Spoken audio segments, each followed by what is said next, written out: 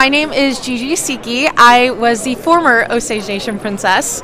Um, today I am wearing my traditional Osage clothes. Um, this is a shirt. Uh, it's kind of like a tunic, um, and these are brass pins um, made by Sun Supernaw.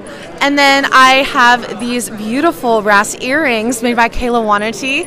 Uh, on Instagram, she's Miss Talking Thunders. and then um, I have my traditional Osage skirt. And so it is broadcloth and um, beautiful ribbon work down the side.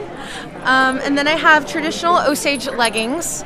Um, and they are embroidered up the side. I'm also wearing my pair, my little favorite pair of moccasins. My grandpa, um, he made them, and then my mom beaded them. So thank you. Yeah. And yourself as well. Hi, my name is Lulu Goodfox, and I am the formal, former Osage Nation princess. Um, to start with my skirt.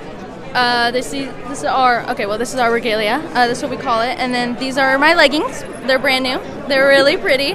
Um, I'm just gonna go all over the place. This is my purse. I keep all my okay, so money in here. So we give a dollar for we do songs and we honor people. So I keep my money in here. Um, this is my crown, very pretty, very shimmery. Um, and this is my shirt from Supernaw's. Um, and and these are earrings you'll see a lot throughout the film. So that's why I wore them today. Um, my banner. Um, yeah, everything. Gigi, Gigi kind of did it.